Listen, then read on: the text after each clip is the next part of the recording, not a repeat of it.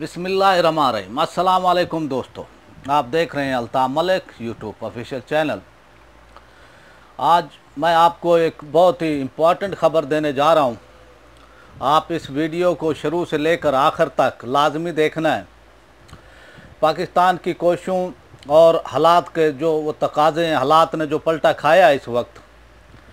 امریکہ اور ہندوستان کے تعلقات اس وقت انتہائی وہ کشیدہ ہو چکے ہیں۔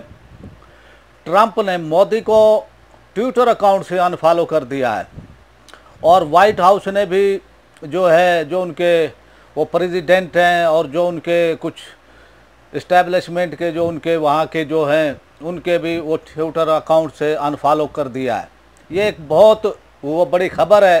ان حالات میں اس وقت جو حالات چل رہے ہیں اور الحمدللہ یہ پاکستان کے حق میں ہیں، حق میں جا رہے ہیں۔ پاکستان کے اسٹیبلشمنٹ نے، حکومت نے امریکہ کو سیدھے سیدھے قائل کیا کہ اگر آپ نے افغانستان سے نکلنا ہے تو جو معاہدہ کیا ہے، جو طالبان سے پاکستان کی حکومت نے اسٹیبلشمنٹ نے طالبان کو لے کر ان سے معاہدہ یہ کرایا ہے، تو یہ معاہدہ اس پر من و ان عمل ہونا چاہیے۔ اور اس پر جو ہے، اور ٹرمپ یہ چاہتا ہے کہ ادھر سے فوری طور پر امریکہ سے، امریکہ جو ہے افغانستان سے نکل جائے، اپنی فوجیں نکال لے۔ لیکن اس وقت حالات ایسے ہیں، اس بیماری کی وجہ سے، کرونا کی وجہ سے، کہ حالات ایسے ہیں کہ بری زمینی فضائی اور بحری راستے تمام بند ہیں۔ اور طالبان کی یہ شرط ہے کہ آپ نے جو معاہدہ ہوا ہے کہ یہ اسلحہ جو ہے، جو بھی آپ کا یہاں پر اسلحہ ہے، اس کو آپ نے لے کر وہ جانا ہے۔ آپ نے یہاں پر کسی اور کو نہیں وہ دینا ہے۔ تو اس وقت جو حالات ہیں، اور ٹرمپ چاہتا ہے کہ بھی وہ ادھر سے افغانستان سے جلد سے جلد اپنی فوجیں بلا لے اور آنے والے الیکشن میں وہ یہ کہہ سکے کہ میں نے دو ہزار ارب وہ ڈالر اپنا امریکیوں کا یہ بچایا ہے۔ تو وہ چاہتا ہے کہ بھی اپنی فوجیں افغانستان سے نکال لے، لیکن اشرف غنی کے پیچھے اس وقت مودی کھڑا ہے۔ مودی جو ہے نا، وہ چاہ رہا ہے کہ بھی امریکہ یہاں سے نہ نکلے اور اس وقت یہ تعلقات آپ سمجھ سکتے ہیں کہ بھی اگر ٹویٹر اکاؤنٹ سے ان فالو کر دیا گیا ہے تو ان کی اہمیت آپ سمجھ سکتے ہیں کہ بھی کیا ہے۔ اور جیسے عرف عام میں جو ہے، امریکہ نے زبردوس کر دیا ہے اس وقت جو مودی کو اور وہ بھارت کو۔ تو یہ مقافات عمل ہے جو مودی نے، جو ہندوستان نے پاکستان کے خلاف بویا، آج وہ کاٹ رہے ہیں۔ اور اس وقت جو ہے، اشرف غنی بھی جو ہے، ٹرمپ کی، امریکہ کی نہیں، وہ سن رہا ہے۔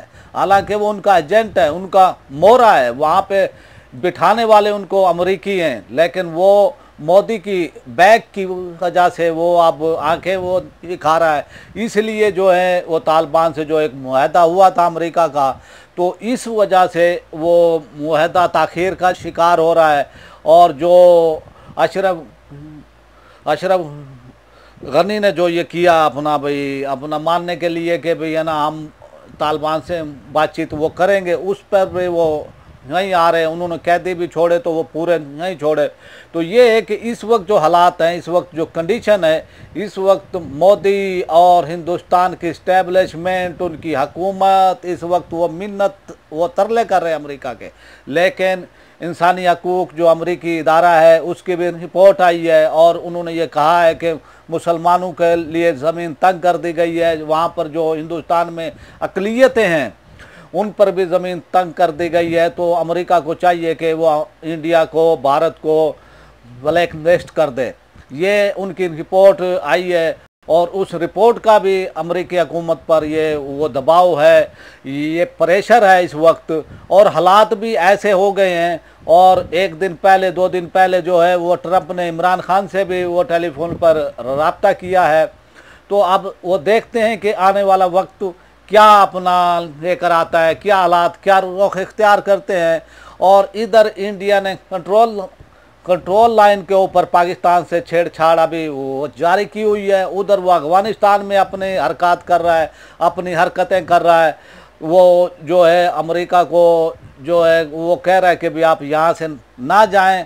آپ اتنے تنگ ہو گئے ہیں ٹرمپ اور وہ ٹرمپ کی انتظامیہ، وائٹ ہاؤس نے بھی اور وہ ٹرمپ نے بھی، یہ کوئی چھوٹی بات نہیں ہے۔ یہ ایک بہت بڑی بات ہے۔ اور اس سے آپ اندازہ کر سکتے ہیں کہ بھئی ان دونوں کے اس وقت کیا تعلقات ہیں امریکہ کے اور ہندوستان کے۔ تو انشاءاللہ پھر حاضر ہوں گے ایک نئی ویڈیو کے ساتھ۔ آپ میرے چینل کو سبسکرائب کریں۔ بیل آئیکن کو پریس کر دیں۔ ویڈیو پسند آئے تو اس کو لائک، شیئر اور اپنی رائے کا کمنٹس میں اظہار کریں۔ پاکستان زندہ باد۔